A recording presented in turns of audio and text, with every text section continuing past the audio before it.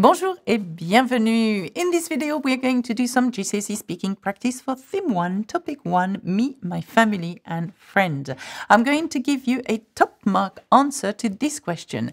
Est-ce que tu voudrais te marier plus tard? Would you like to marry later on? If you want the guide for this video, consider becoming a member here on YouTube by clicking on the join button and visit my awesome website, learnfrenchwithalexa.com, if you want the complete French course, that is. Let's try to answer Est-ce que tu voudrais te marier plus tard? Now, like I say at every single video, I'm asking you to look at the tense of the question. Voudrais. Tu voudrais. Je voudrais. What tense is that? It is a conditional, okay? So basically, the examiner is asking you, would you like, would you like to marry later on? So the examiner wants you to answer in the conditional tense. So you've got it in the question here. Tu voudrais? In using je, it's je voudrais, I would like. So it's either you say yes or no. I'm giving you two possibilities here. Here's the first one. Je pense que je voudrais me marier plus tard et fonder une famille. Pour moi, avoir une famille est très important car j'adore les enfants. J'aimerais en avoir cinq. Ça serait sympa, n'est-ce pas? Ma femme sera très belle, intelligente et généreuse. Mon mari sera très beau, intelligent et généreux. Okay, so let's have a look at this answer and why is it a super duper cool answer.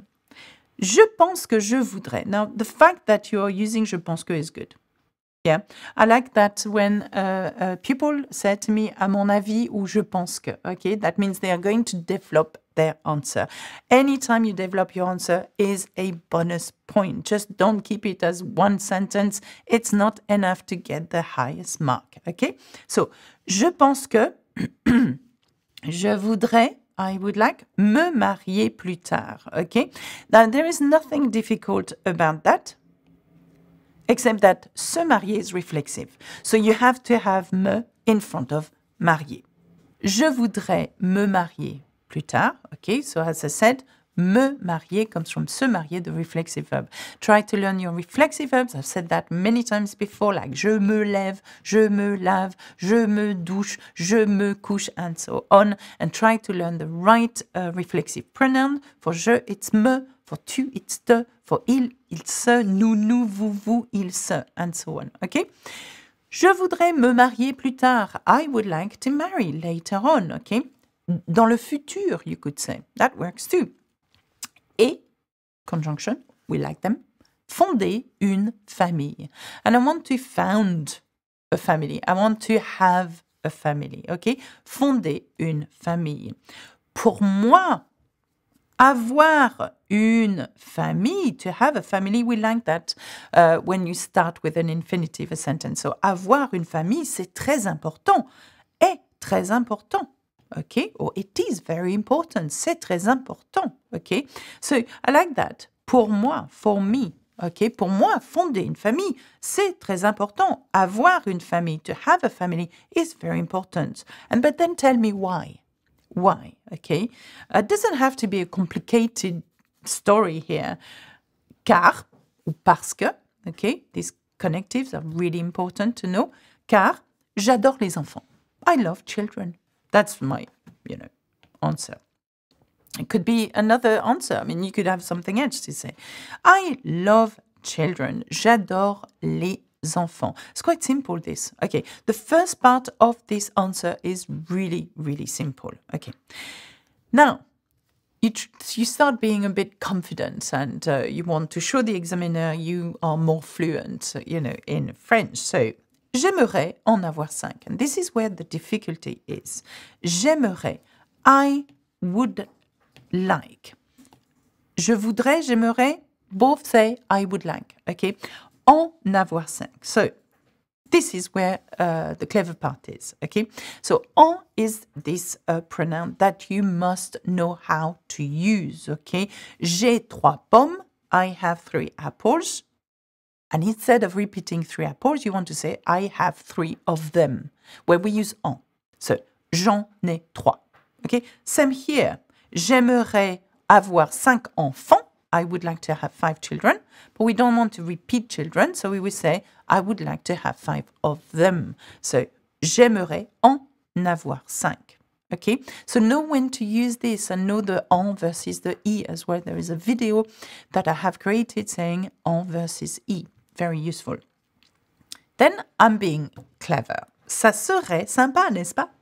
So I'm asking the examiner, you know, so it would, it would be nice, wouldn't it?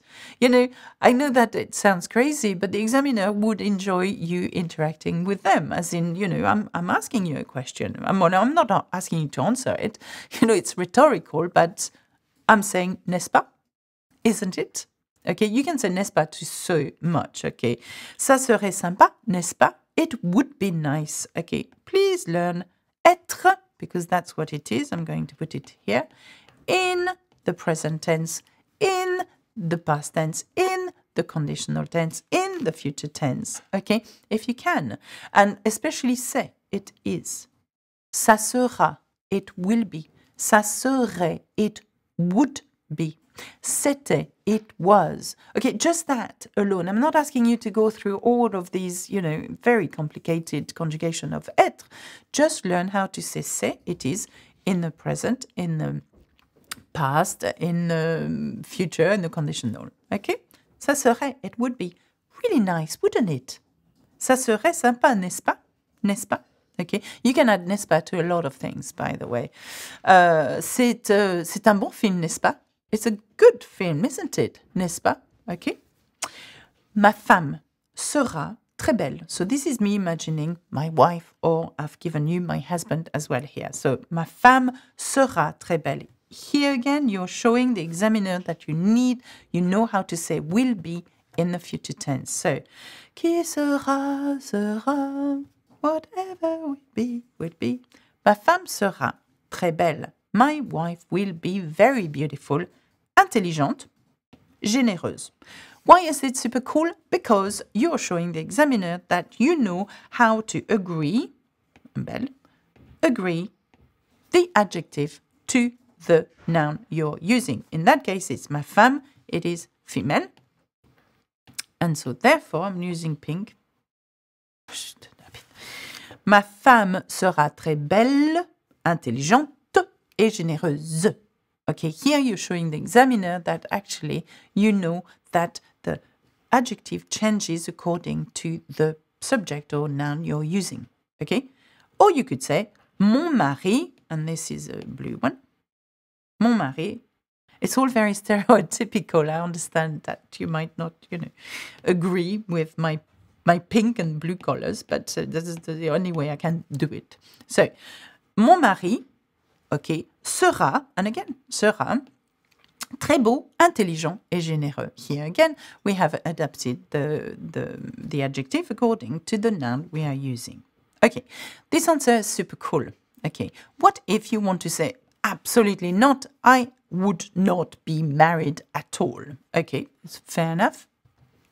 Then this is my answer. Non, Je ne veux pas me marier. Quite simple. So here it's clever as well because you're using negations. Okay, so remember to use negations. Remember to use comparatives. Remember to use the right tense. Remember, I mean, I say that a lot, but this is how you're going to get the top mark answers in the exams. Okay, whether it's the writing or speaking exams. Okay, so non, je ne veux pas me marier. Don't want. Okay, to marry. Okay? Je ne voudrais pas me marier. I would not want to marry. You can say that too. Du moins, at least, at least, pas pour l'instant. Not for the moment. Now, this is a short answer, but if you manage to say it this way, it's bonus point because you're using quite complex structure. So, at least, du moins, pas pour l'instant. Not for now. OK, pas pour l'instant, pas pour le moment, you can say as well. OK? Je veux pouvoir, so by the way, learn je veux, I want. OK, learn je peux, I can. OK, learn, uh, yeah, this two to start with. pouvoir, vouloir in the present tense. Super duper important. So you've got pouvoir, vouloir, devoir, to have to, okay? And uh, what else? Pouvoir, vouloir, devoir. There's another one. Lost it. Uh, we'll come back. It will be on the support guide. Anyway, so je veux pouvoir faire. I want to be able. To, to be able to can. Je veux pouvoir faire. To be able to do. Ce que je veux. Okay. When you have ce que in the middle of sentence means what? What I want. I want to be able to do what I want. Okay, wow, it's quite an answer. The examiner is going to say, whoa, okay, we get the picture. yeah, okay. Non, je ne veux pas me marier, je veux faire ce que je veux. Fair enough. Mais qui sait? But I like that. But who knows? Qui sait? Who knows? Actually, I'm going to just correct it because it should be a T here, not an S, my mistake. Mais qui sait? Who knows? Je changerai peut-être un jour d'avis. Who knows? I will change maybe one day my opinion on the matter. Okay? Why is this so cool? Because you're using qui sait, idiom, always use an idiom. Qui sait, who knows, okay? You're using a future tense. Je changerai, I will change. There you go. I will change. Maybe one day my my mind i will change my mind my opinion okay? This is short but this is quality okay so remember when you're answering your questions it's not necessarily about the quantity it's about the quality and the quality of the grammatical point you're inserting in your answer. So if you have a good future tense in there if you have a good idiom if you've got a good negation good interrogations uh, good uh, just comparatives or good you know one of those points that you need to have in order to get the highest mark then you are on to a winner. Do you say that in english? Okay. Anyway that's it for me uh, onto est-ce que tu voudrais te marier plus tard? You can make you any any answers, you know, as long as it's grammatically correct. That works. Now remember, there is a support guide with this lesson, uh, and also learnfrenchwithalexa.com is awesome if you want to take your French to the next level level. I have an Instagram account, by the way. I do, and it's really, really good. Of course, I would say that. Of course. Au revoir, à bientôt. Bisous, bisous. Salut.